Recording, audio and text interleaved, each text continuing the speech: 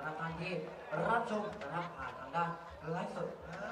ทาางเพจช่างยอดวางกันด้วยตอนนี้มีอยู่ห้าหมื่นกว่าคนนะสุดยอดนะครับเยอะมากเลยเห็นมาแล้วนะเห็นมาแล้วเห็นแล้วโอ้โหตาดีแอบไปตอนไหนไปวะดูมาเมื่อกี้โอ้โห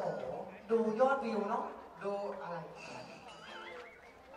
อะขอบคุณด้วยนะครับในส่วนของท่านที่เริ่มซื้อบัตรเหมานะครับทุกบัตรทุกใบกันเลยนะครับแต่สำหรับในรอบถัดไปนะครับจะสลับสับเปลี่ยนนะครับเป็นบัตรธรรมดากันบ้าง นะครับผมเรียนเชิญได้เลยท่านใดที่ทำสิ่งกันไว้นะครับแล้วก็ท่านไหนนะครับที่อยากร่วมทำบุญนะครับในส่วนของการซื้อบัตรซื้อตั๋วเรียนเชิญได้เลยที่จุดบริการด้านหน้านะครับผมบัตรธรรมดาจะอยู่ที่ 10 บาทเท่านั้นนะครับผมเมื่อท่านซื้อครบ 10ใบนะครับหรือว่าซื้อหนึ่งครั้ง 10ใบจะแถมบัตรเหมาหนึ่งใบด้วยกัน นะครับเป็นกิฟต์วอเชอร์เล็กๆน้อยๆกันด้วยนะครับแล้วก็ในส่วนของบัตรเหมานะครับจะอยู่ที่ราคา 100 บาทนะครับเงินทุกบาททุกสตางค์นะครับที่ท่านร่วมซื้อบัตรซื้อตั๋วไม่ได้ไปไหนนะครับนำเข้าวัดนะครับวัดใหม่บางจากทั้งหมดเลยนะครับอย่าลืมนะครับในงานประจำปีของทางวัดใหม่บางจากนะครับยังเหลือในค่ำคืนของวันพรุ่งนี้อีกหนึ่งค่ำคืนด้วยแล้วกัน ท่านไหนที่มีความประสงค์นะครับอยากให้ลูกให้หลานนะครับหรือว่าญาติพี่น้องมาร่วมทำบุญนะครับก็บอกปากต่อปากก็ได้นะครับบอกว่ามีรายคุณนะครับพิมพ์เข้าไปนะครับสวัสดีวันจันทร์อะไรก็ว่ากันไปอะไรเนี่ยบอกคนกันต่อไอ้บ้าวันนี้คุณสวัสดีวันพุธแล้วขอโทษทีพี่จำวันไม่ได้อะนะครับผมบอกพี่น้องบอกน้องก็ได้นะครับเดินทางมาร่วมทำบุญกันได้กับงานประจำปีของทางวัดใหม่บางจากโดยรายการนะครับก็ร่วมอนุโมทนาบุญกันด้วยกับ ที่เดินทางมาร่วมทำบุญโดยรายกันนะครับมาครับผมในรอบนี้ในส่วนของบัตรธรรมดาจะให้นะครับซ้อมๆสักนิดหนึ่งได้เรียนจังหวะการขึ้นไปนะครับเรียนเชิญได้เลยนะครับในรอบนี้เริ่มต้นกับจังหวะจริงๆด้วยกันนะครับผมนำเสนอในผลงานเพลงความข่าว